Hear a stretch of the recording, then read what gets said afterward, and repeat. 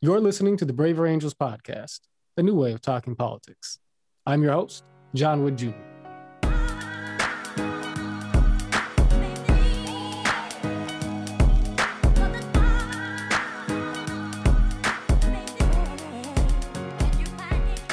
Okay, and I am joined by my uh, comrade in arms.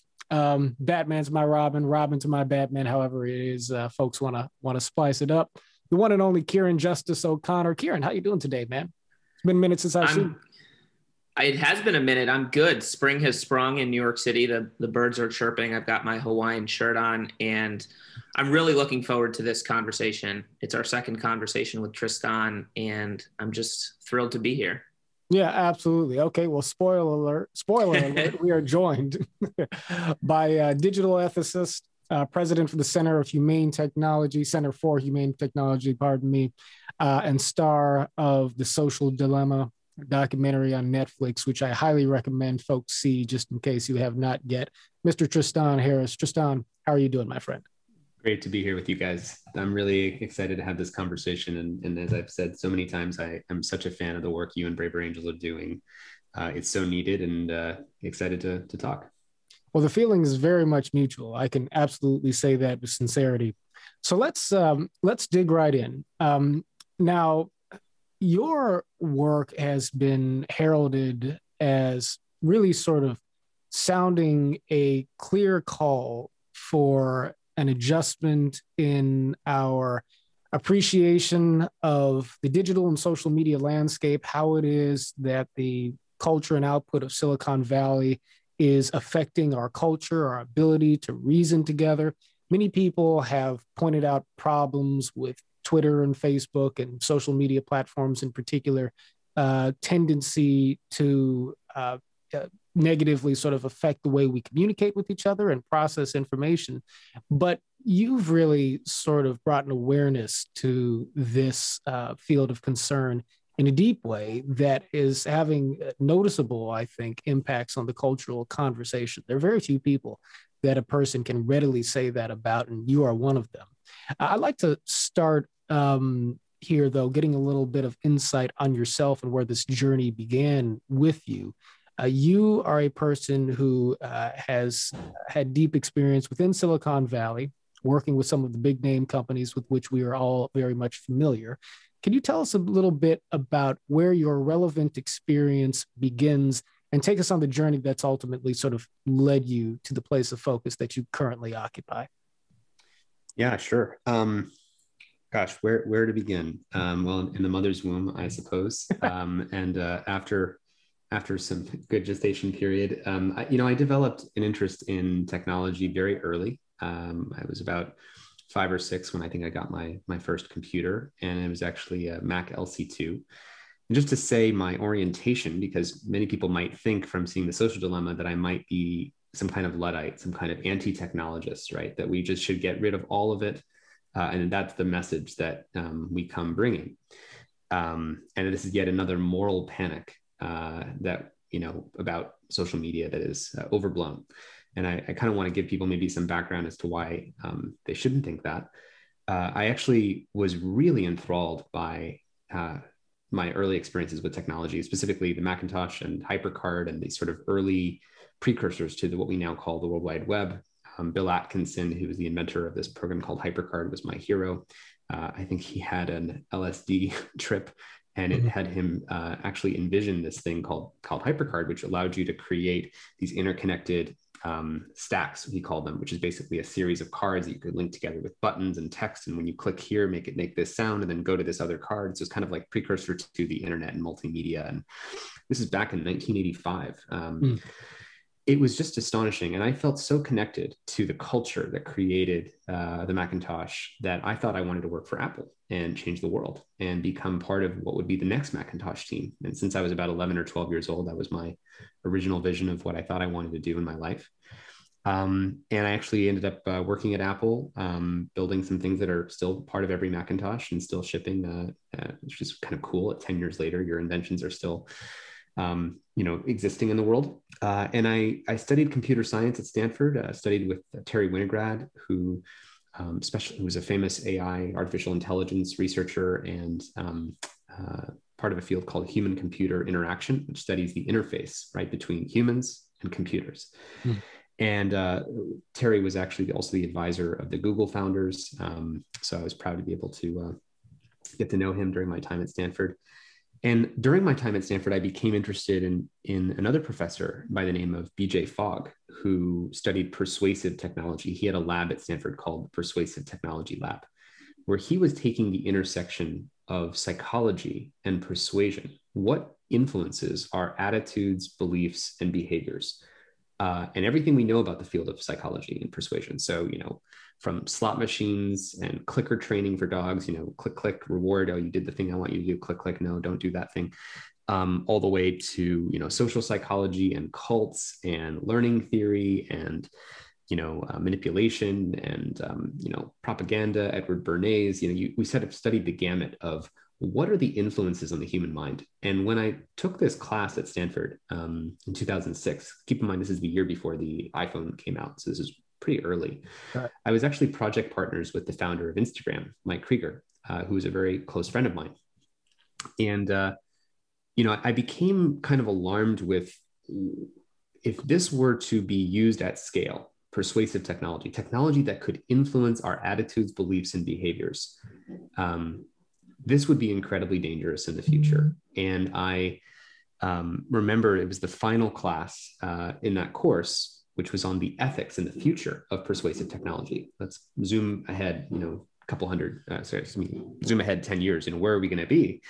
And one group came up with the idea that what if in the future, um, you know, John, we had a, uh, a map or a profile of what was persuasive to every mind on earth. You know, are you the kind of person who respects figures of authority. You know, if I said Harvard Medical School said this was true, would you be more persuaded by that versus if I said your, you know, your sister uh, was said this was true? Mm-hmm. Um, if I used, um, uh, you know, appeals to authority versus if I use appeals to safety, if I use fear, are you a neurotic personality type? So we even thought about if you had the big five personality traits of uh, openness, conscientiousness, agreeableness, extroversion, and neuroticism if you knew people's personalities, you would know a hell of a lot about how to persuade them. And as I took this course and became alarmed with all of that, I mean, obviously that idea is very alarming. It also brought back my experience with magic. Um, I was a magician as a kid, and um, it brought back just the entire discipline that was kind of stored away in my mind as the human mind is very persuadable. Technology is now a vehicle of persuasion, and we ought to be kind of concerned about where that could go. But I tabled that concern for a while. It was pre iPhone. It was pre. Um, it was the early days of Facebook. Um, famously, the next year at the Stanford Persuasive Technology Lab class, they had a, a class dedicated to Facebook apps and how to make viral Facebook apps persuasive. And many of those alumni ended up joining the early ranks of Facebook, LinkedIn, YouTube.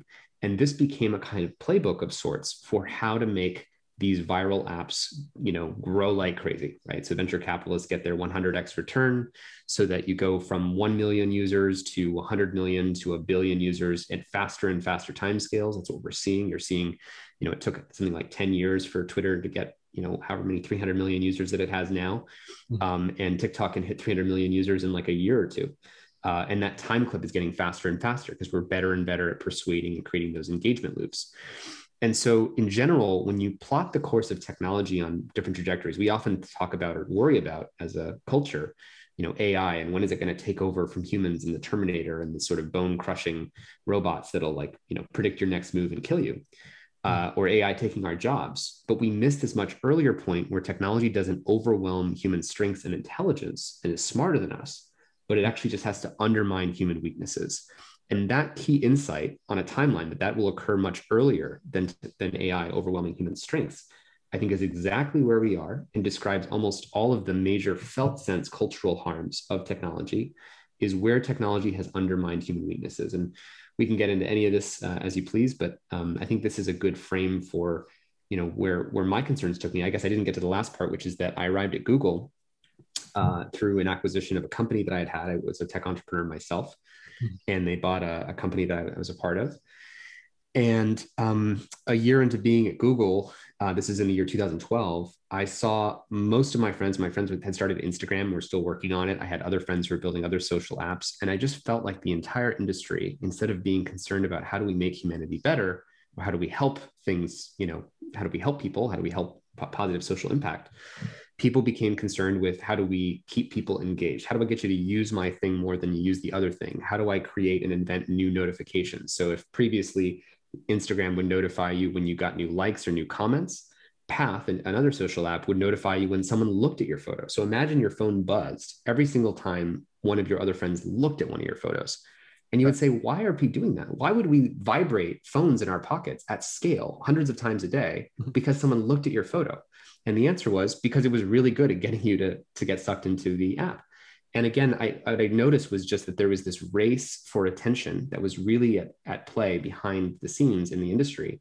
And that that was really the dominant force driving the direction of innovation and where technology was going. And it wasn't about making the world better or providing new market, you know, positive, you know, offering new uh, positive uh, experiences or products people could buy that would improve their lives. It was much more about treating people as commodities and persuading them. And I raised an alarm bell at Google, um, uh, making a presentation that's in, you know, covered in the social dilemma, the film, uh, in which I basically said, look, 10,000, excuse me, 100, uh, about 100 designers at three companies are influencing what a billion people think every day. Uh, and we as Google have a moral responsibility to get this right. You know, these 25 to 35 year old, mostly white male tech designers are basically in charge of the operating control room that operates the collective psyche of humanity. How are all the neurons wired up? How is all the information flowing? How is attention flowing? Do we even have such a thing as attention or free will if you're mm-hmm. basically constantly undermining the processes that make up a more wise or thoughtful decision making process?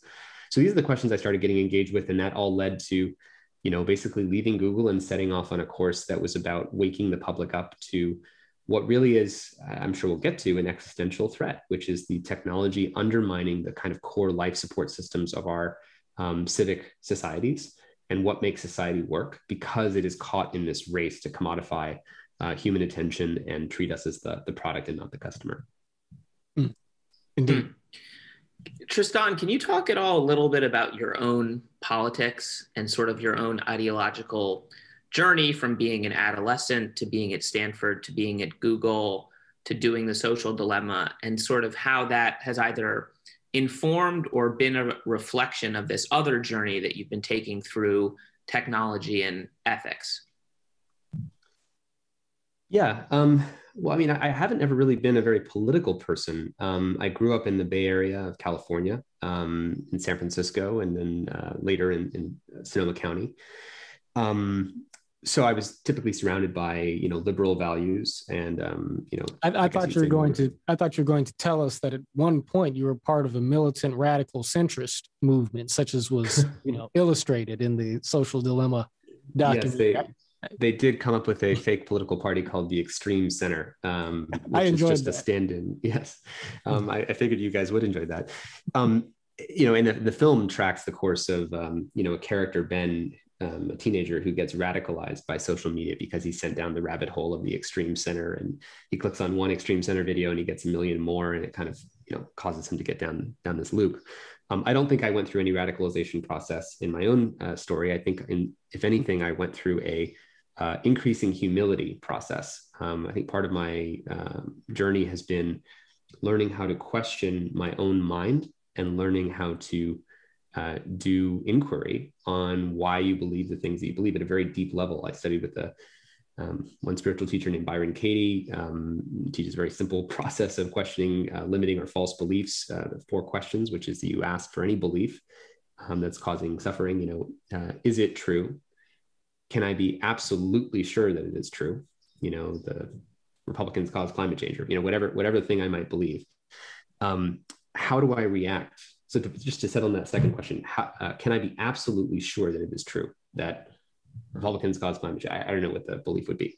Um, and you you just realize that attaching any statement to reality like that is kind of like um, pulling a cover over the four corners of a bed and always having one corner pop up because your description of reality is always incomplete and it might have a partial truth there's a reason why we're we're um, coming from some of the beliefs that we are coming from but it's more a product of the environments we grew up in and what people around us were saying that sounded credible and sounded reinforced. And from my knowledge of persuasion, I can kind of deconstruct my own believing believing process as being around.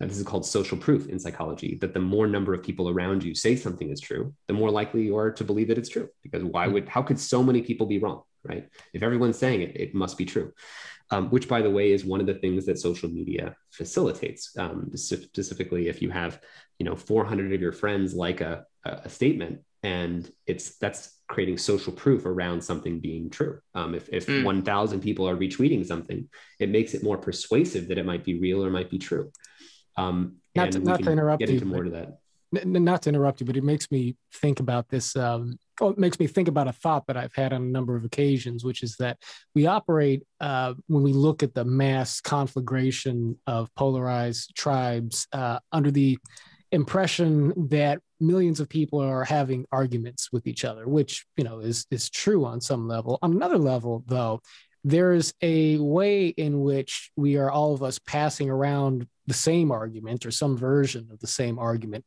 through millions of different channels, right? And so much of what we believe and attach so much conviction uh, to is itself not so much a product of you know deep and thorough self-reflection on the part of any one individual, but more so our sort of borrowing, you know, borrowing that conviction and that perspective and you know passing it through the filter of our own biases and experiences and presenting that argument or that point of view as our own. And sometimes I imagine that if you were to sort of whittle down the millions of people arguing about a certain point on any given side of an issue down to those who had gone through a process like what you undertook where wherein you just sort of you know bottom up reevaluate the basis for all of your beliefs how few people might you be left with on either side of that conversation who had actually thought it all through for themselves anyway that's just that's just something that came to me as you were as you were saying that yeah completely um i, I mean it, it's incredibly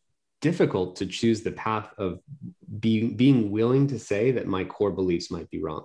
Right. I mean, I mean, who wants to go through? Look, you know, we, we want to stand on the shoulders of giants, and why not stand on the shoulders of all your previous selves that have experienced reality and gone through their experiences and heard the social proof from so many people and family members and friends over all those years. And if you want to suddenly say, "I'm going to discount all those things," I think what happened to me for me personally is I ended up encountering a, a group of very contrarian thinkers in San Francisco who um, uh, were very well practiced. It's actually uh, led by two friends of mine who were in a cult for 10 years. Um, they left that cult. Uh, they were actually in an arranged marriage and they went through the full process of how cults can kind of manipulate uh, people, identity, beliefs. And I got fascinated by cults because they they're always offering something of, of deep value, usually something very healing to um, a large group of people. That's why people join um, because they're getting some kind of practice or community or belonging or meaning um, you know, or doing inner child work, or, you know, these kinds of things. And, uh, and, and, and yet I would be surprised that um, almost all cults have the same kind of failure modes, right? You have like a big ego of the founder, you have sexual dynamics between the founder and other people in the cult, you have uh, rewriting of language and meaning. So you have sort of the, the extraction of a person from their other friend groups so that they have less and less checks and balances on their own thinking and they're more stuck within the circular reasoning of the cult. Mm-hmm. I spent about, you know, four or five years with these two friends uh, and the community that they put together um, uh, who, who really they're high in something that in the, in the psychology literature we call construct awareness which is your ability to be aware of the construct that you are in you know that the um, social norms language these are all ways of um, organizing our reality. And if you are not questioning them or if inquiry with them uh, you are simply a product of them. There's a part of you that's almost like a robot that's running the code of some system that you're not seeing. And people who've been in cults for a long time and came out of them and completely you know uh, question that entire experience are the most interesting because they've almost gone through the maximal construct awareness uh, manipulation hmm. and so it's almost like you know if you want to learn about protecting a bank you might want to spend time with the best bank robbers the ones who've been through the, the you know the, with the most awareness of the vulnerability of the bank well if the bank is our own mind and our own mind's meaning making reality you know, if we really want to understand persuasion, you want to spend time with the people who've seen the maximal degree of social psychological group manipulation. So that was really part of, you know, Ciaran, when you asked me about my political background, it's really more about my own meaning making background and how how I at least, you know, was able to question some of those things. And it strikes me that the process of intellectual humility or questioning one's own beliefs is probably becoming for a lot of people sort of an increasingly shattering experience because it's not just about intellectual humility, it's almost about de identification. So people's identities are increasingly intertwined with their beliefs. And social media, you share those beliefs as a badge that bolsters your own identity and sort of carves it into the ether. And so I think for people to try to undergo that process, it's very scary because they feel like they're they're losing a piece of who they are. And I don't know if that's always been such the case. I think in the past you had um, more identities your identity as a friend or a father or a community member or a Yankee fan, or in my, my case, a Mets fan. But hmm. now your identity is so tied up with your tribal allegiances and a relatively flat expression of politics that I think it makes it really hard for people to do that. And I wonder later in this discussion, as we talk about digital architecture, we might think a little bit about how can we sort of make it less scary? Yeah, indeed. I mean, uh, we're interested, and I think we should get to that later. But but the question of what would it look like for technology to be, um, if you view it as conditioning human behavior, human social norms, and human identity, um, in our orientation in the world, it's not really orienting us towards epistemic humility or, uh, or a humility about how do we know what we know. It rewards us for our certainty and the more you broadcast your certainty, the more likes you get. If you say, well, I'm not really sure, it could be this way, it could be that way, you're not going to get nearly as many likes, comments, or retweets if you express humility, which is one of the problems in general in our that some of the wisest people are usually the most silent. Um, you know, the, the wisest are those who know that what they don't know. Um, but those are not the people who we're going to hear from the most often. And it's one of the other ways that social media distorts um, our attentional landscapes because those who are most vocal and most certain get all the airtime and participate more often as well. So it's a double whammy of uh, asymmetric um, representation. If you think of the fairness doctrine of, um, you know, the 1980s with television, if you present one side, you have to present the other side. Well, social media is not democratically representing um, the views of let's call it even that you call them one of the groups that's marginalized is wisdom. If you are wise usually you're more silent which means that silent people are just simply not represented in our intellectual sphere. That's probably going to lead to some problems down the road. Mm-hmm. right. Huh. So this this this leads me to all sorts of interesting sort of intuitive places here. I want to take a chance on something really quick and um, talk a little bit I, I rarely talk about myself, as people know who listen to this podcast. But I'm going to break that rule very, very quickly. Being very sarcastic for any new listeners, by the way. Uh, many of you will already be irritated at my tendency to do this. But um, one person I actually talk a fair amount about on this uh, podcast is uh, uh my father. Ciaran and I, we talk about our dads a lot. Our dads uh, have a lot in common. I'm trying to get them on the podcast at, at some point. But um, you used the word Luddite earlier, uh, Tristan the perils of technology was actually a huge part, or the emphasis on the perils of technology was a huge part of my upbringing. Um, I um, now my background, my family background is in music, and some people will know that my uh, my well, my mother danced on Soul Train's R&B singer. My dad's a jazz pianist. His father was, uh, my grandfather was a major record industry uh, executive. He owned uh, Dot Records in the late 50s and early 60s.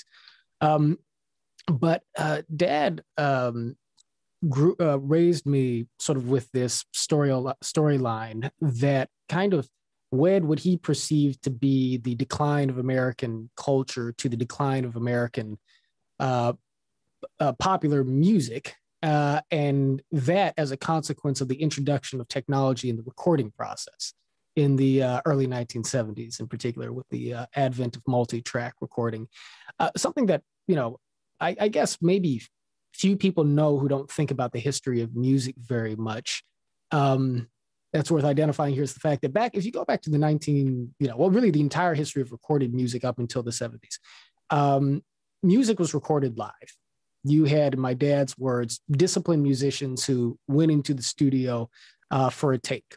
And, uh, you know, back when my dad was growing up in recording studios, artists would record for three or four hours. Songs that they had rehearsed and rehearsed together as you know as uh, as bands and ensembles. And if they knew the material they would produce uh, a version of the song that was good enough to make it to the album. That would be released. And as time went on uh, the process that went into recording an album wound up multiplying you know uh, just about uh, logarithmically because suddenly with the introduction of tracks in the recording process musicians didn't have to be in the studio at the same time um, you know the singer would record his or her vocals uh, in one session and wouldn't even necessarily sing the song all the way through as, as the recording uh, process sort of evolved, but would take a, a, bar here and then record another bar there. And then after spending maybe a couple of weeks on the vocals, you bring in the guitar player, you bring in the drummer, or you would introduce, you know, the drum machine, which came, I think, in the in the 80s uh, with probably with disco and so forth.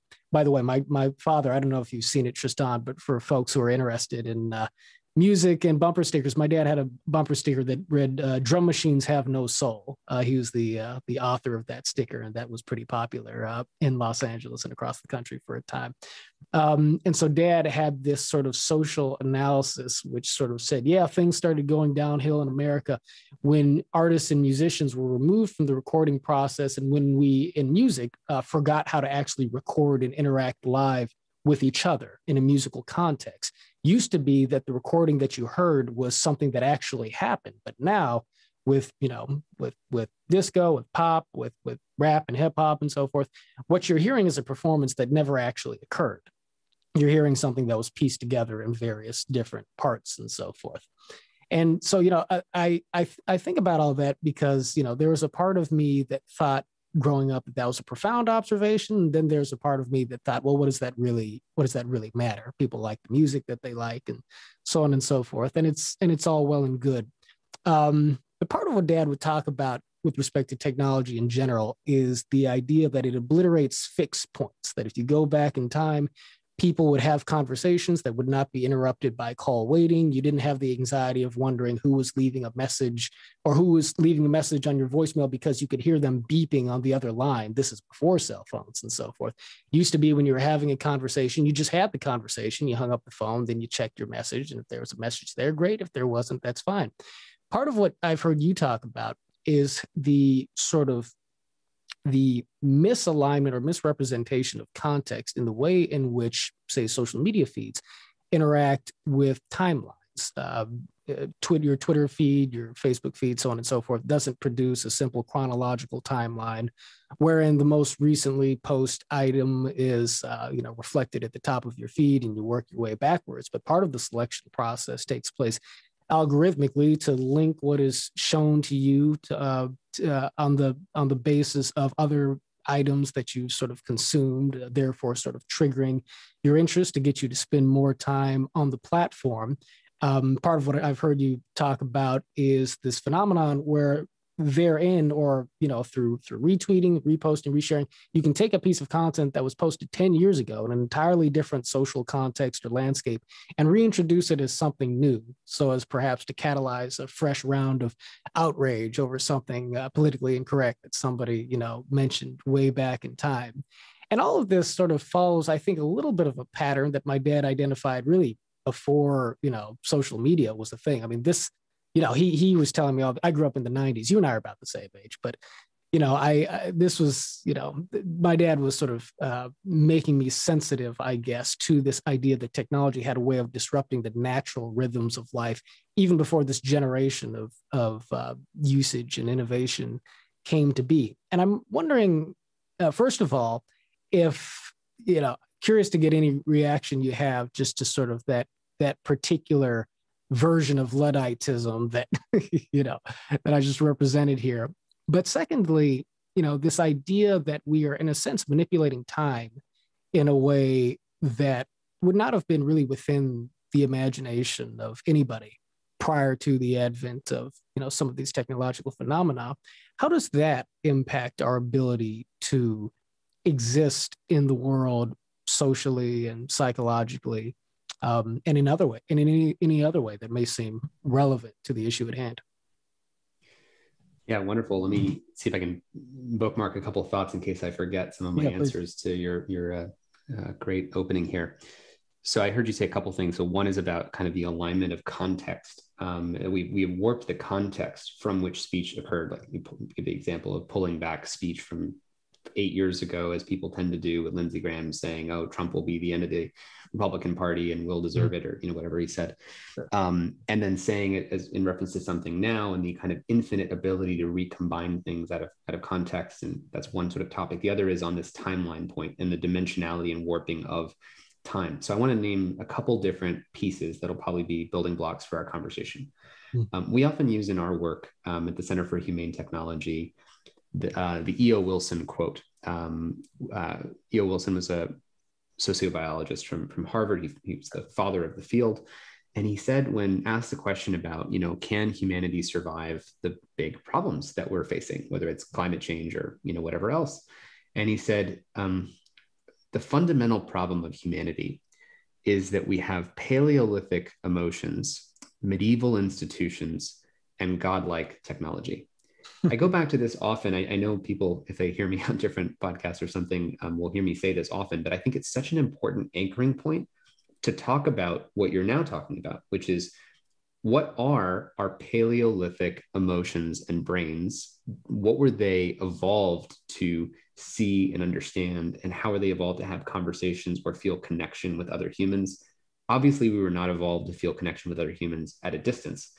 Um, that doesn't mean that we can't do it. I mean, telephones were a revolutionary technology, but um, I mean, arguable what kind of, I'm sure that uh, in the STS field, we can find many negative examples of some things that that caused, but telephones, I think, overall retained some of the context that is important about human relationships tone, prosody, intimacy. Um, uh, it brings together a lot of the context that, um, that, that we need for effective, meaningful communication less ambiguity, etc.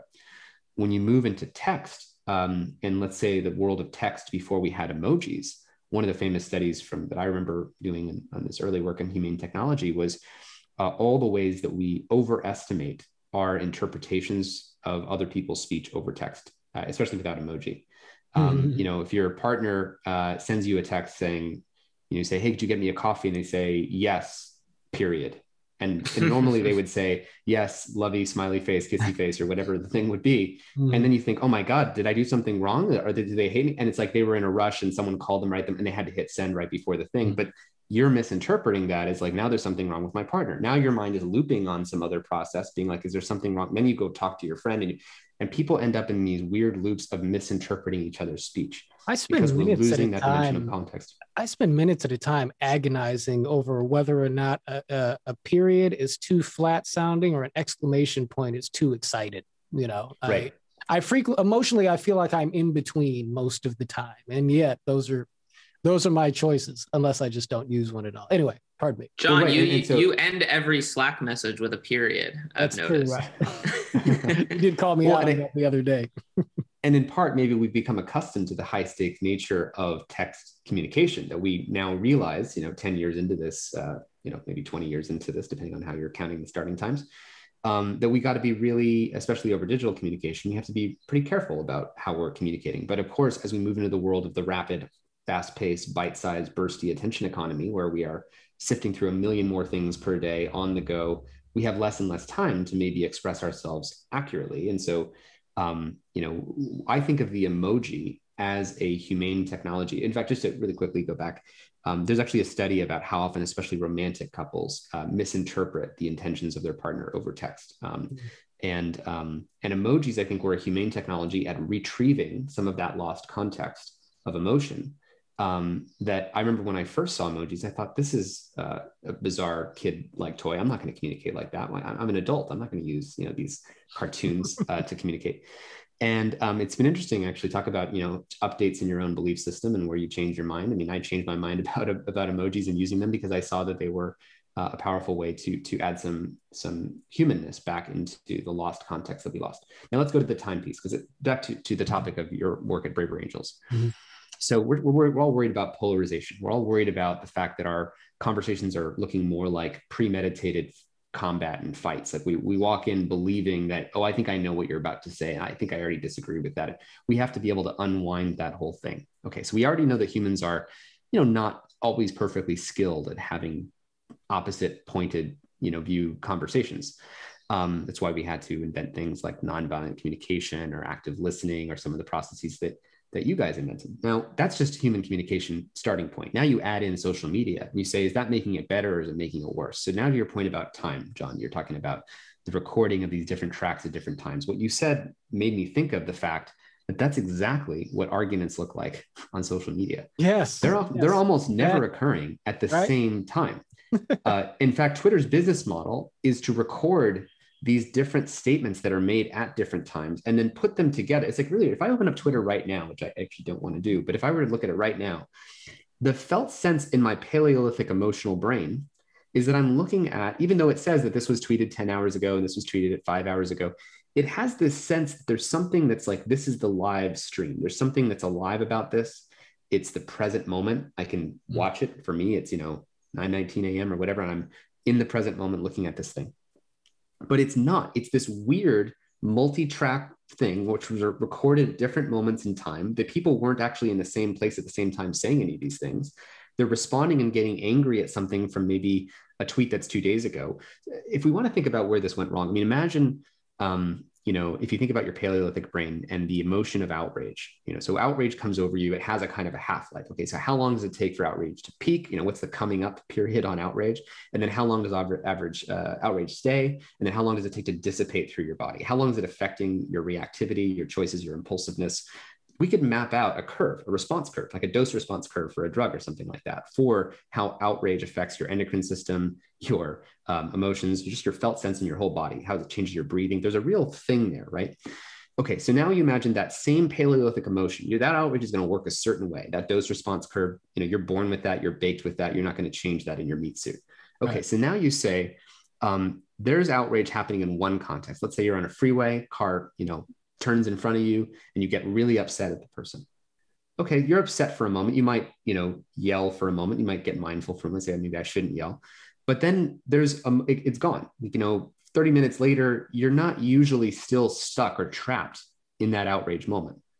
And your digital environment there you are in that truck. The truck doesn't say hey hold on a second. Don't you want to um, uh, see hang on to that outrage some more? We're going to post to your other friends and other trucks and say hey, your other friend just got um, someone swiped in front of them. Do you want to get angry and yell and just join the comment thread and get angry at that other truck for, for driving in front of Tristan? Right. Like, no, it doesn't doesn't do obviously any of that. And if you think about what Twitter does, is it's never been easier for for momentary outrage or momentary conflict to snowball into a big pool where everyone can pile on to seeing these moments as they pass. Mm. Um, and it's also true if you make a mistake, um, people are one of the side effects of social media right now is people are actually, some people are worried to share it all because they know that one thing taken out of context can turn into a snowball. And by the time that they try to post a correction or say, no, I didn't mean that, the whole world has piled on to the original uh, mm. misspoken statement. Yeah. And it creates all of these secondary side effects in which, and, and let's be clear, uh, just to, to link this for your listeners back to how social media has done this it's not just this accident. It's, I want to connect it to the business model of why the business model, as we say in the social dilemma, is the kind of core problem inside of our social platforms, which is to say that they benefit from harvesting human attention, right? Their business model, how much have you paid for your Twitter account recently, your Facebook, YouTube account? Pay, haven't paid anything. So how, how is Twitter worth, you know, whatever it is now, $400 million or something? Hmm. Um, and it's because they monetize our attention. It's not their data, it's the attention. They have to get your attention. And how do they do that?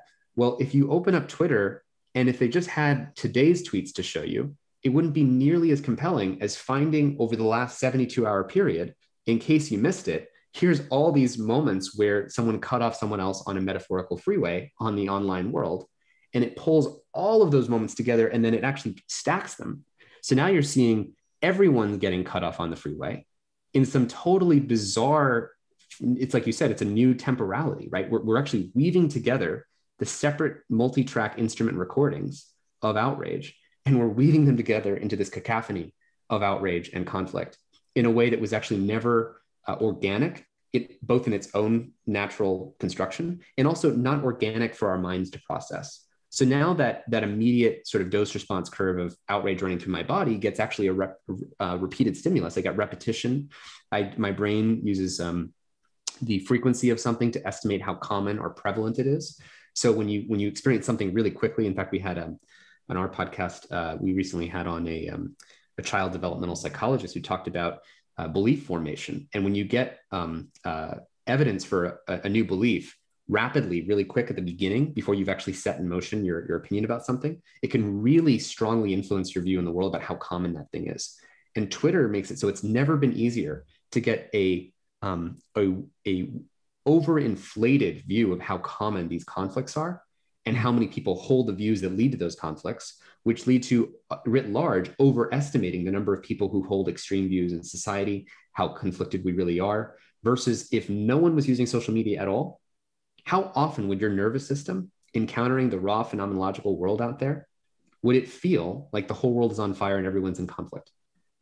And it's really interesting to, to consider that. It's so hard to consider that opposite reality because our our whole society has been hijacked with the brain implant that it now cannot remove. Because even if I choose not to use Twitter, I can't depend on the fact that everyone else that I know is, and my democracy that I'm gonna that everyone's voting in is gonna be the product of what that information environment has done. So I, I don't know if that's helpful context, but that's what your comment made me think about in terms of weaving together in irregular and abnormal ways um, in, in atemporality into temporality that that is um, really been damaging, and it's directly again connected to uh, the business model. Right. Yeah. Well, yeah. So there's this recontextualization of our reality that gives us a false sense of, you know, just sort of what the proportional distribution of either certain uh, ways of looking at the world or certain events actually happen to be um, you know, I mean, I, I want to be careful here because I could I could come up with examples that would be controversial for for good reasons, but you know, to sort of wade into one, obviously, you know, we have an ongoing uh, conversation in this country on you know criminal justice reform, policing, uh, the phenomenon of you know uh, unarmed black men being shot and killed by by law enforcement. I'm a person who happens to believe that there's deep reforms that need to be made to uh, criminal justice uh, to the criminal justice system, and that that doesn't necessarily mean that every um, claim that is made in terms of the frequency with which with respect to how often certain tragic events uh, unfold gives us an accurate understanding of the larger sort of you know uh, material reality of that issue. It's a bit of a side conversation but it does present a clear uh, and present danger with respect to our being able to get an accurate empirical grasp on reality when you have a misrepresentation of the frequency within which with which certain types of communications are taking place, et cetera, et cetera.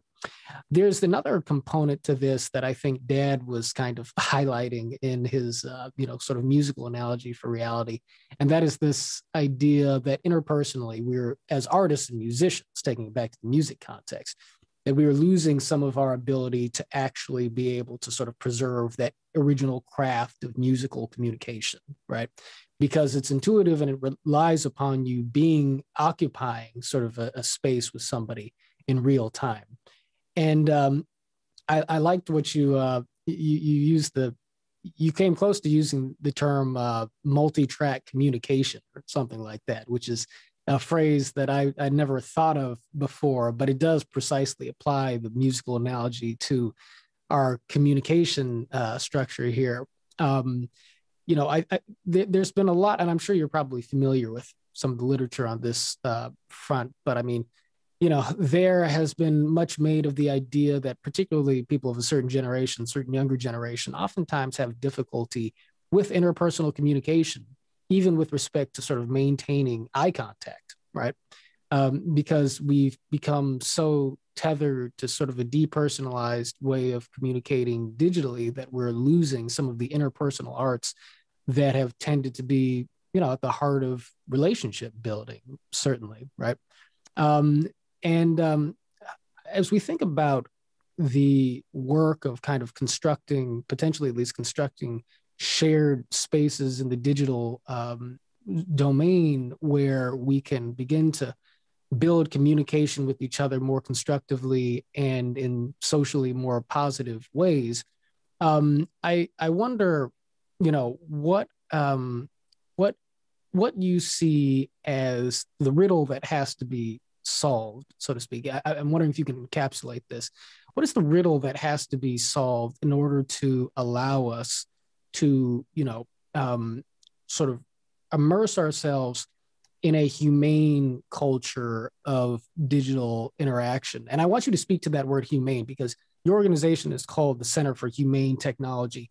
And that word I don't think is just incidental in in in in the title. Humane actually has it, has real philosophical substance to it uh, in the context of what it is we need to sort of capture in uh, you know in in a higher understanding of what technologically facilitated community building and, and communication could be.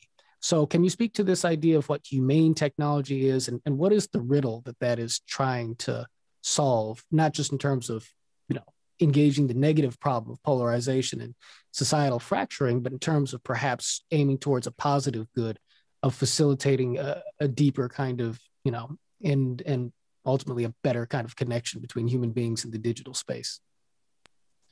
Yeah, wonderful. Um, let, us speak first to the the riddle that we're trying to face, because maybe we haven't appropriately established that. So I just want to lay some groundwork, maybe briefly for your listeners, mm-hmm. about what is the problem that we're setting out to solve here. So obviously, polarization online is one of the big uh, features of, of the conversation, but I want to connect it to something more broadly that we call the climate change of culture, which is that when you have one business model um, that treats human attention um, as the commodity that needs to get sold.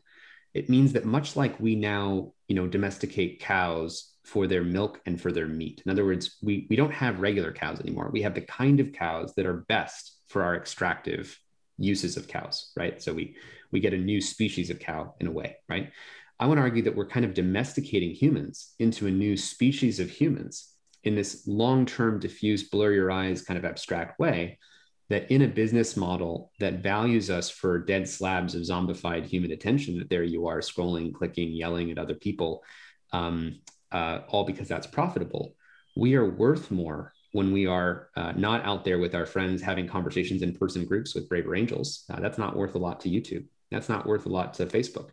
Um, uh, when kids are out there on camping trips and hiking trips um, or playing on a school uh, playground. That's not worth as much to YouTube or to Facebook or to Khan Academy. Um, not to put Khan Academy in some negative light. Um, so the problem is in a business model uh, which values our attention, we are worth more when we are addicted, distracted, outraged, polarized, narcissistic, and disinformed. Narcissistic in the sense that we we're worth more when, when kids are seeking social validation and care about do they have 20 more likes than the last time I checked five minutes ago. That's a more profitable user than one who's not using it very often. Um, a user who comes back tomorrow is more profitable than a user who only uses it once a week. Um, so much like in you know our medical system, where it's much more profitable to have someone get diabetes and then sell them a subscription plan of treatments than it is to have a medical system that prevents them from getting sick at all. We have a fundamental perverse incentive here, and I just wanted to name that because that connects to the second piece of the riddle that we're in, which is the climate change of culture, because that set of effects, addicted, distracted, polarized, outraged, disinformed, has a certain kind of quality. We're being domesticated into a different kind of human. Notice mm. kind of hmm. harder to read a book uh, now than it was.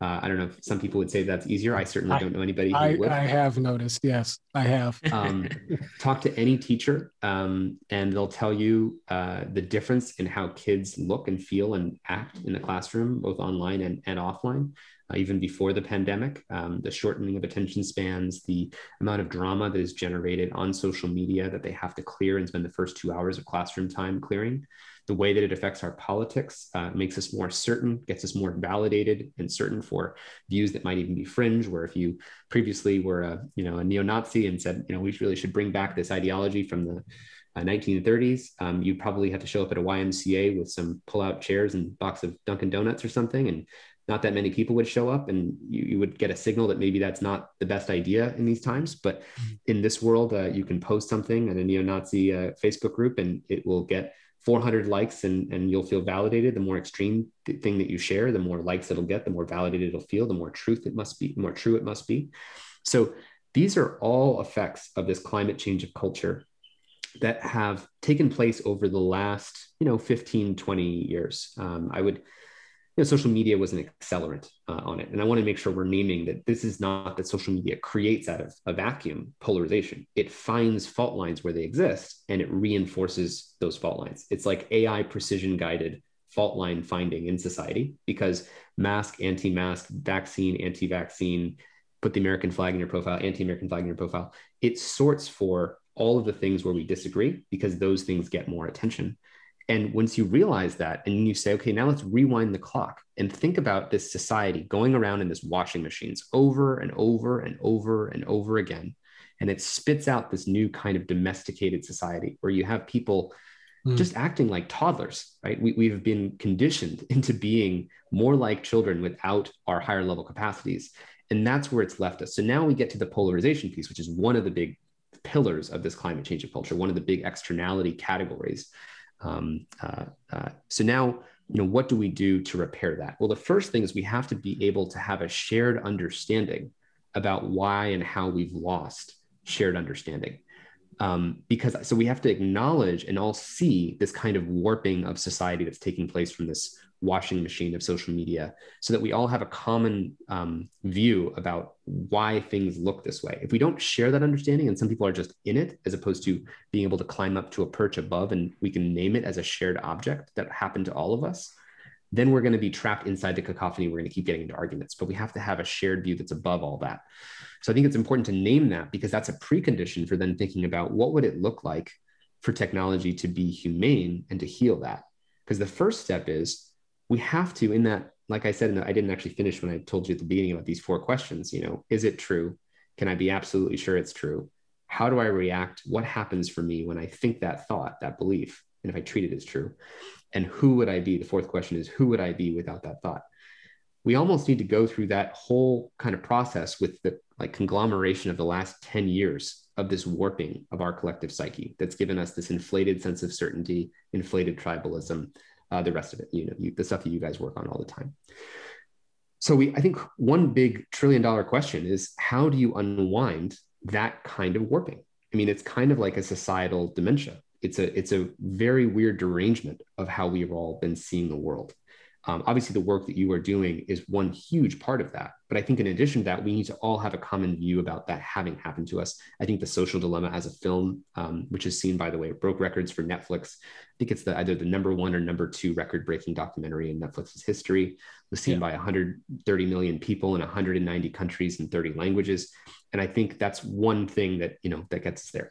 But as to your, to your question, John, the ultimate point here is to get to a world of technology that is humane and to your question about the philosophy of that term, it comes from uh, my co-founder Aza Raskin and his father Jeff Raskin, who actually invented the Macintosh project uh, at Apple in like 1980. He started that project and he wrote a book later in his life called The Humane Interface, where he said humane technology is technology that is considerate, uh, respectful of human needs, and considerate of human frailties. It is understanding and wrapping around ergonomically human frailties so that as not to make them maladaptive to a current cultural environment. And we extend that term because that was back in the 1980s to humane technology has to be understanding of human vulnerabilities, weaknesses, our Paleolithic emotions and biases, and be wrapping around that in a way so that it doesn't cause exploitation or negligence over that very um, gentle and, and fragile terrain of how our psyche interacts with the world. Mm-hmm. So, an example is if our brains don't do well without emotional context or signals, so that when I speak to you and I have a smirk or smile on my face, and it's different than if I spoke to you stoically and I was kind of autistic and I just spoke to you like this, and you're not getting those signals. Mm-hmm. There's a there's a lack of there's of the, some of that context that's coming through. So emojis are a humane technology because they're actually reintroducing some of that needed context for our minds from their evolutionary environment to do the appropriate thing, which is to build a relationship with you one of the things that's lost in social media land is when we have a genuine relation with someone, think of someone you know really well. And if they say something that um, is actually polarizing or, um, you know, actually almost uh, harmful, um, we give them the benefit of the doubt because we have a relationship with them. We say, well, maybe they couldn't have meant that extreme of a thing because I know them as a person. I know where their values are. And maybe they made a mistake, but we won't just jump to now we need to go to war with you because this is how Ciaran manages his relationship with me on a you know on a regular basis. Right. Well, and if you think about what social media does, is we never see, we don't have a set of relationships undergirding this virtual sphere where we're getting into arguments with each other. And to the extent we have relationships, it frays at those relationships. We don't speak to those people as much in real time. And when you have 140 characters to express yourself, and if it's ambiguous, I personally have had very close friends who've said things that that I feel unproud of and um, would be upset about. But I, I, I know that behind the scenes, I know that person's views, and so I can tell that there's some kind of miscommunication that's happening mm. in that public setting. I think other guests you've had on this podcast, I think might might feel similarly. And it's interesting when you talk to them in an audio context, as you mm. did with, you know, either James Lindsay or others, not to endorse anyone's views, but just to get a sense of there's something behind why someone might say something that without that context feels absurd or offensive or horrible. Yes. And if we don't have those relationships that are undergirding um, speech uh, that is actually going directly into these more conflicting topics, um, it's going to lead to, to more conflict. So it, it's a stacked problem, but what we need to have for humane technology are things that help us understand each other better. And I just want to give one more example before I turn it back over to you. We love it. There's a group uh, we love speaking with. Um, one of your peers called More in Common. Um, and Dan Vallone, we had on our podcast uh, uh, to talk about their work on perception gaps, which is a measure of not whether a belief is true. You know, is racism still a problem in this country, or you know, is climate change happening, or when is it going to happen? That's hard for a social media company when it's an abstract topic to adjudicate with content moderators. You know, what's true, what's not true, and it's an these are abstract topics. Um, so you can't adjudicate those easily, but what you can do is measure can Democrats accurately predict what Republicans believe about whether racism is still a problem? Because you can just ask both groups and then you can get a sense of are they able to, you know, are, are they able to accurately measure the percentage of Republicans that believe that or not? And what they found in general is that we overestimate the number of people holding extreme views by quite a lot. I think we estimate 55% of people hold extreme views. The actual number is something closer to 35 or 30%, I believe. Um, if you ask uh, Democrats, you know, what percentage of Republicans make $250,000 a year, uh, they'll say about a third of Republicans make more than $250,000 a year, when the actual number is 2%. If you ask uh, Republicans what percentage of Democrats are LGBTQ, um, they'll say, oh, a third of Democrats are LGBTQ, but actually only two, uh, 6% are. And so we're, we're living uh, in our in our world through these meaning making lenses of stereotypes. You know in the same way that you have far sighted glasses on we have stereotype sighted glasses on. We are seeing the world through stereotypes and getting into arguments with mirages of human beings with mirages of tribes that are those extreme uh, sides. And the reason i bring this up is if you think about humane technology um, the current status quo in their research is the more that you use media and social media the worse your perception gaps are. So the longer you spend on social media, and, and, even independent of education, by the way, in fact, it's worse for people apparently on the left who are the more educated you are on the left, um, and the more media you use, the, the, even worse your perception gaps are because you become even more certain about uh, where people stand. Um, and if you think about that as kind of an anti-humane technology, because if you think about someone walking into a regular context or room where they want to get an argument with someone, but they literally don't even know the opponent's side, you're not having a real conversation and um, a humane world would be one in which, just like active listening, um, you would make a point, John and uh, Ciaran, and I would respond to it and say, okay, I think what you said was this, and this is what you said, and do I have that right before I respond to the thing that that you're saying? Right. Well, um, you could imagine technology that actually automatically shows us the kind of media because it can measure which are the kinds of post articles, news websites that tend to reduce perception gaps over time, because it can ask that question and then how do I show you more of that stuff and less of the stuff that increases perception gaps? And that was one of the insights that came out of our conversation with Dan. And I bring it up because we want to live in a more humane world. Is the longer time you spend on media at all, hopefully the lower people's perception gaps would get. It's almost like computational empathy, where you're actually in some more automated way showing people the kinds of things that allow them to better estimate what other sides actually believe. And because I think you and I and all of us here on this call are really interested in a humane technology world, since we're all surrendered to this digital infrastructure we're now embedded in, more and more of our country, our economy, our communications, our children's development is actually occurring through this digital infrastructure. If Biden passes a $3 trillion you know, stimulus package, but it just gives us broadband versions of today's infrastructure, then it's not really helping because we get broadband polarization, we get broadband screwing with kids' mental health, we get broadband depression and isolation.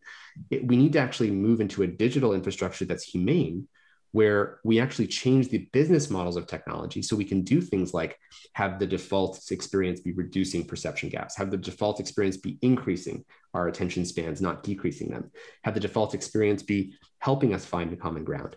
Um, I could give many different examples, but that the idea that technology that puts um, human bugs or human weaknesses at the center, human fragility at the center, so that you can design for the most uplifting and wisest capacity of humans is what we're really after here. And it really goes full circle to we have to align this equation that E.O. Wilson gave us of Paleolithic emotions, medieval institutions, and accelerating godlike technology.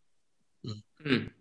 Yeah, I was going to ask about the potential for some of these new models and also how we might anticipate some of the criticism and pushback that we might get. Um, you know, when you think about the epistemological dimension and the fact that people perceive the world to be so much more extreme and conflict ridden than it actually is.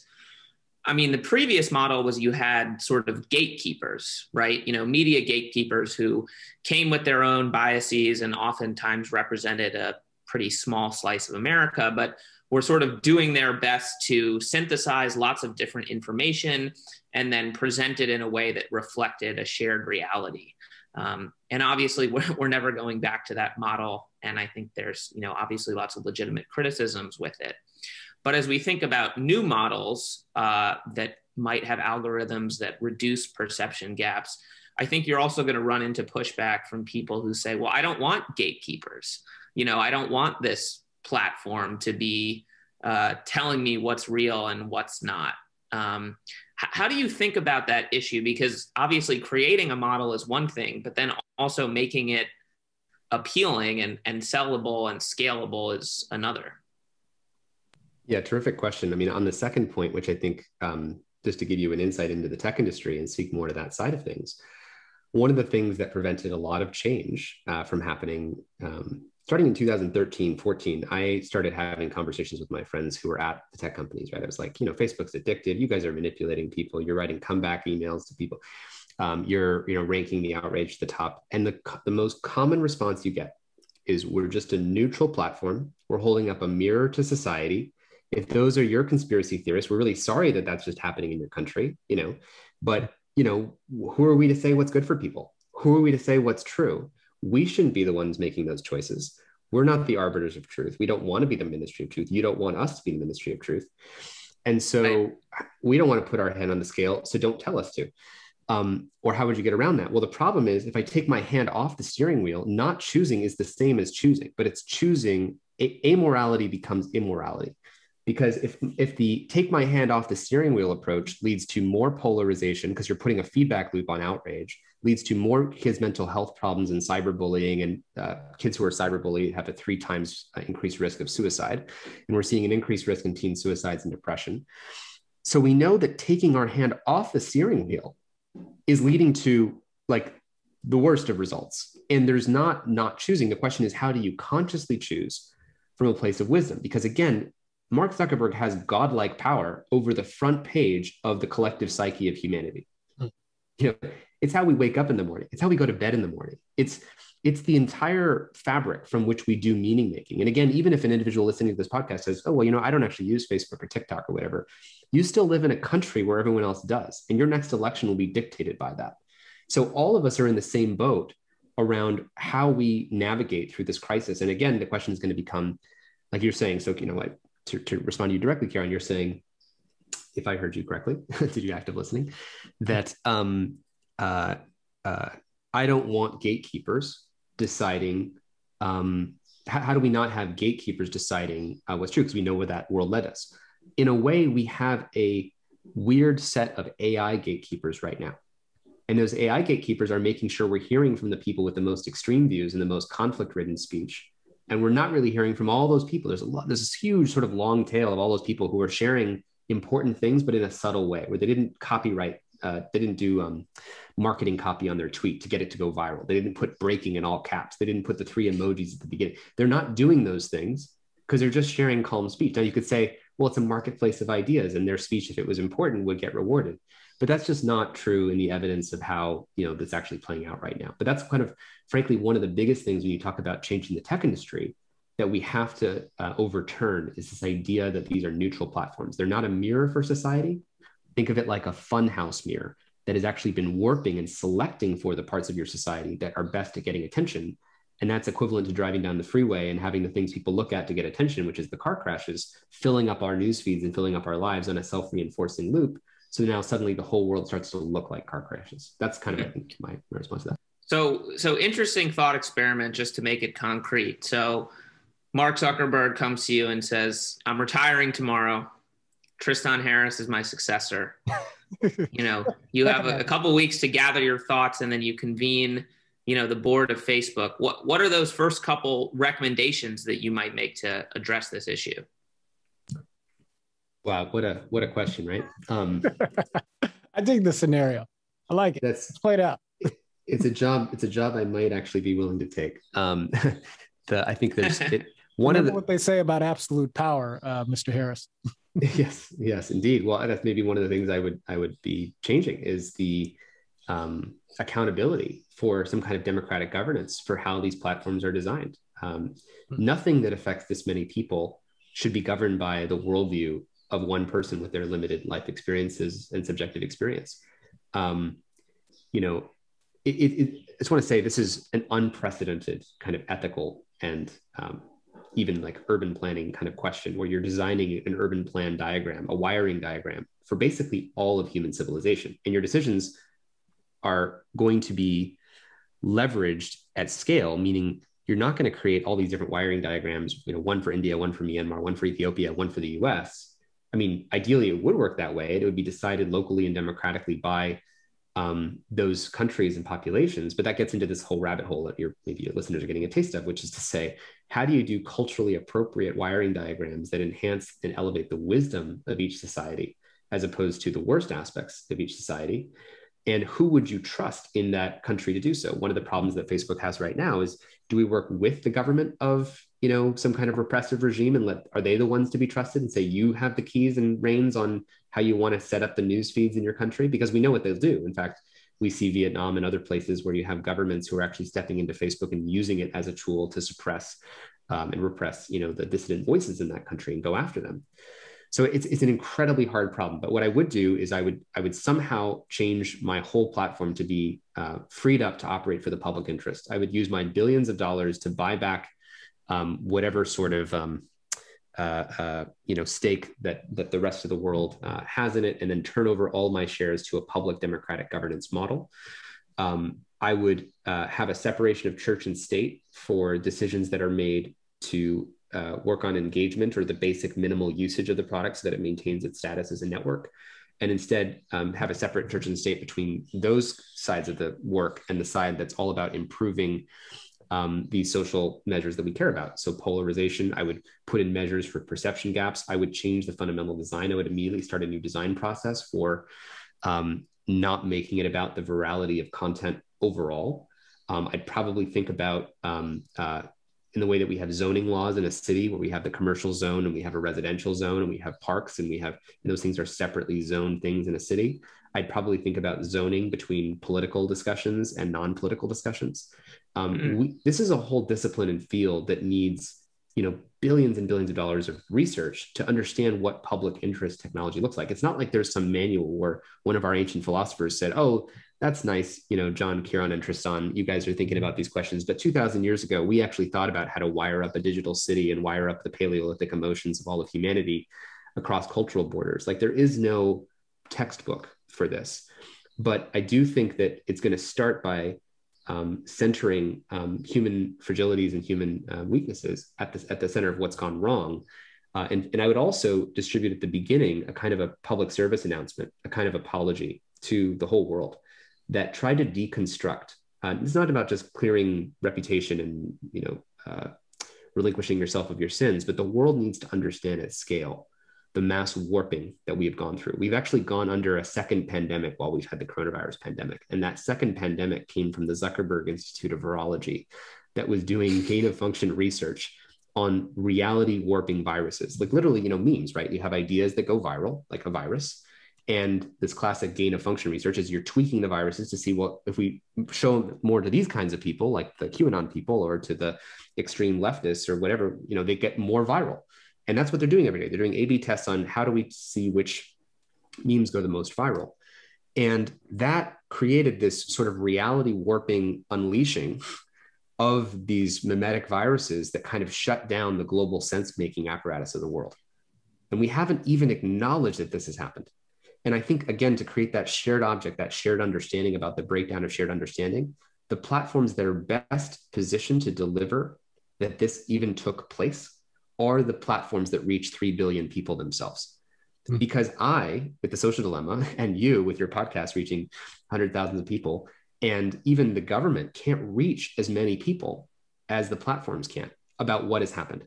And I think we need to deconstruct this and name this kind of warping that's taken place and hit a little bit of a reset button to cool down some of all the tensions that we've all been uh, experiencing around the world because people really can't distinguish again between their thoughts and what feels real. And when technology has been the generator function for 3 billion people's thoughts, the front page of our own minds, we, we have to be able to uh, go through a transition like that. Now, that's a lot to throw at you, but that's probably some taste of what I would start thinking about. Hmm. Well, we've got a succession plan in place, Mr. Zuckerberg. So, you know, uh, you know, uh, you know where to find Mr. Harris. Um, geez, Tristan, uh, this has been a remarkable conversation, and uh, I'm tempted to uh, to to push it uh, push it a little bit further. Uh, you have time for one more question? Yes, I can go uh, for another 15 or so minutes. I think is what I've got. Okay, good deal. Um, and we can go shorter if we need to. Yeah. Sure, sure. Um, I wonder the um, you know I alluded to that phrase "absolute power corrupts." Absolutely, and you know you spoke to the challenge of you know wiring uh, you know uh, a sort of communications uh, and knowledge sharing structure for all of humanity. And it makes one suspect potentially that you know perhaps it is the case that technology at this scale is just sort of unmanageable by definition in some sense. I mean we could imagine a humane social media platform that perhaps is constructed in a way that reintroduces the various sorts of you know, points and, and, and levers by which we can identify and act upon the nuanced uh, aspects of interpersonal communication. So as to provide a more comprehensive and um, sort of understandable picture of who the human being is on the other side of the communication but when you think about building that system up, building some model up in a way to where that mode of interaction works as effectively in India as it does in South Africa, as it does in the United States, perhaps that's possible. But the conservative in me, you know, and I should just say the, the generic kind of conservative uh, caution with respect to government policy in general is just that there there tends to be a limit to the efficacy of top down, one size fits all solutions, and that the one thing you can always count upon uh, when one tries to act at scale with respect to the application of government power and policy anyway uh, is the uh, the law of unintended consequences. And you know that's not to draw too direct an analogy because these are different conversations but with respect to social media do you think that some of the answer here has to be in competition and migration away from there being just sort of a few uh, multinational platforms with hundreds of millions and billions of users into sort of a more sort of you know i hate to use the term balkanized because it has negative conversation connotations and we strive against balkanization in the context of political polarization. And yet you know, perhaps a a you know a federalized or even just sort of um, you know a communitarian. A communitarian there you go a communitarian sort of social media landscape where in you know you have um, competition or interaction between various platforms that ideally would be seeking to correct for the um, inhumane kind of uh, you know uh, formula for for um, convening and brokering communication that is consolidated in the major platforms. Is there hope to be invested in a in a uh, multitude of different approaches to this particular kind of um, technological service, or do we need to figure out just how it is we can go about potentially you know, influencing the major structures that exist or the population at scale so as to demand changes from these from these dominant platforms, given the fact that it does not seem like they are going to go away anytime soon or to clear the board for for other approaches, I guess, to to take root at a similar level of scale? Yeah, what a question. Um, I think that um,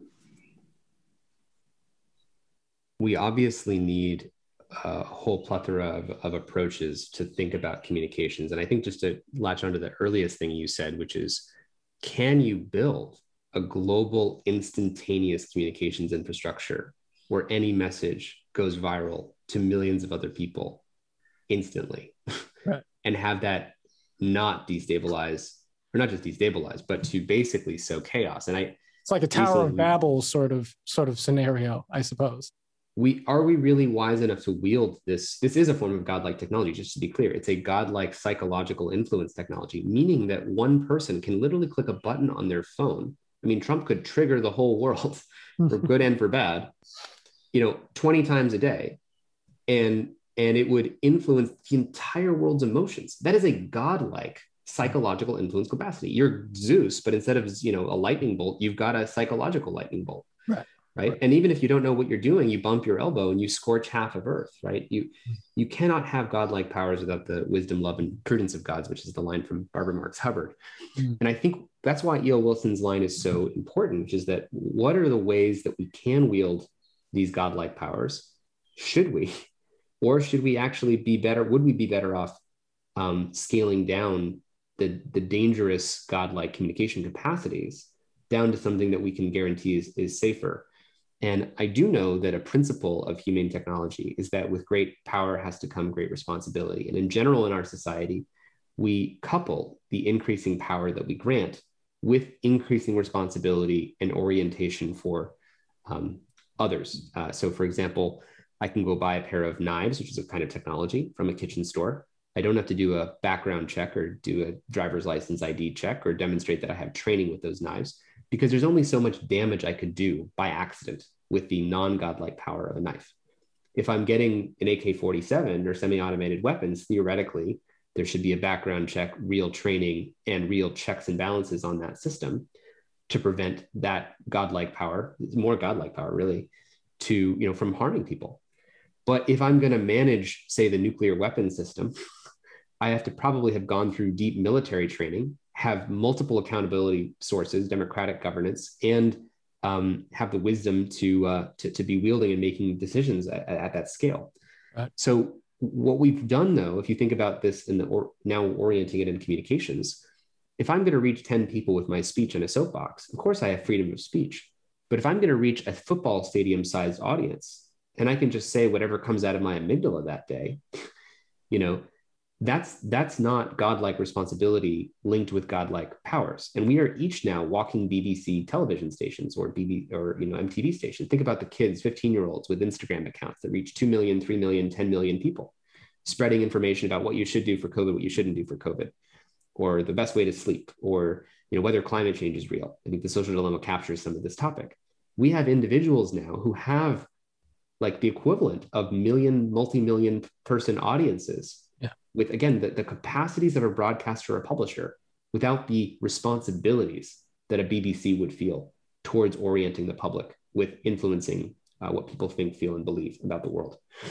That doesn't leave us with an answer but i think in general the principle that we would want to retrieve from the past is what would it look like for you know you know you have different responsibilities for zero to 100 people that you're reaching versus zero to a million uh, versus a million people versus 100 million people and I think the greater the power, the more our orientation towards the public good or the commons has to be.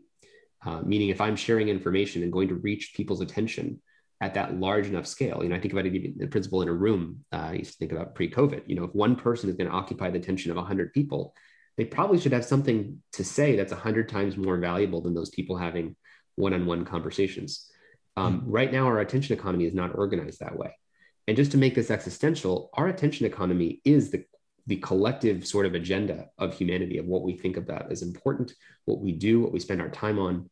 And when we have serious problems like pandemics, climate change, nuclear warfare, um, infrastructure, geopolitical competition with China, if our agenda instead represents, well, here's the latest hypocritical thing that I don't like the other tribe said, and here's infinite evidence about why I can feel smug that day, that's not going to get us to actually caring about and dealing with the real uh, bigger challenges that we face. And that's my my highest level concern is that right now we have two competing uh, brain implant um, models. We have the Western brain implant, in which you know you get the Facebook, Googles, YouTubes, TikToks of the world, and it just wires up your society for kind of social epileptic shock, where you're kind of writhing on the floor, not doing anything in chaos because every neuron is firing to every other neuron. You're foaming at the mouth and not getting anything done. Or you have the Eastern brain implant, where you have sort of Orwellian thought reading and mind control and mass behavior modification, but the sort of sociopathic organism just follows orders and is super efficient and powerful and plowing along.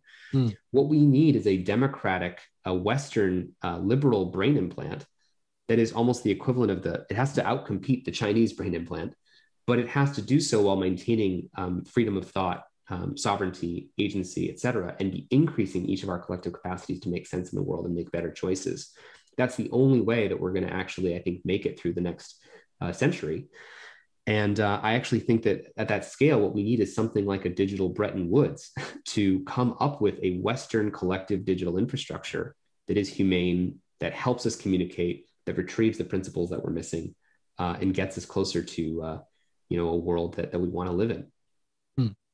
Well, one thing that I'm convinced of is that uh, we are in a moment in time wherein as bleak as we might get the sense of the present as being, there is work to be done that can nevertheless, I think, pave the way towards a future that allows us to harness the humane impulses of the human personality and to find a way to use the creative capacity of human beings uh, to build out structures that really do call forth the better angels of one another's nature. And um, you know, uh, if if anybody doubts that that's possible, I think all they have to do is look at the success of the social media, of the social dilemma, rather, of the documentary that you were a star of, and the impact that you yourself are having, and the team at uh, Center for Humane Technology and folks like you um, on the thinking of societies across the world. There's clearly a hunger uh, to see that these problems be engaged and that we innovate our way towards sustainable societies and that we do so in a manner that coheres with our higher moral uh, aspirations. Um, again, as uh, as you know, as as nations and perhaps just as a species, right? Uh, and I'm I'm certain that we can't get there without folks like yourself. So, Tristan, thank you so much for joining us on the Braver Angels podcast, brother, and thank you for the honor of uh, of uh, our being able to engage in this dialogue with you in an ongoing sort of way. It's certainly been a pleasure for Ciaran and for I. Totally my pleasure. And I think the work you're doing is so important. And I hope uh, this conversation maybe engages listeners in thinking about, you know, how can the digital world not cause mass polarization and have the analog world through analog, well, you know, through small group conversations, not catch up at this, you know, smaller pace that you guys are doing that's so important. But what would it look like to scale up how we unweave this this derangement of our collective psyche. And i think you guys are really offering some of the best lessons for how to do that in intimate settings. And i just hope maybe your listeners think about and join us in figuring out what does that look like in a more humane world? And how can we change these platforms to to be doing that positive thing? Because we really don't have time to do anything else. And i'm just grateful for the opportunity we got to, to speak about this today. Yes sir. I appreciate you. Ciaran go ahead and take us home brother Yes. Well, my thanks to you, John, for driving this forward, to Tristan for coming on, and to everyone who's listening. You can find Tristan Harris online at the Center for Humane Technology. Send us an email. Let us know what you thought about this podcast, media at braverangels.org. We take uh, questions, compliments, criticisms, suggestions. We take it all. And if you like what you heard, please rate us five stars, leave us a review, and stay tuned for the next episode. Take care, folks.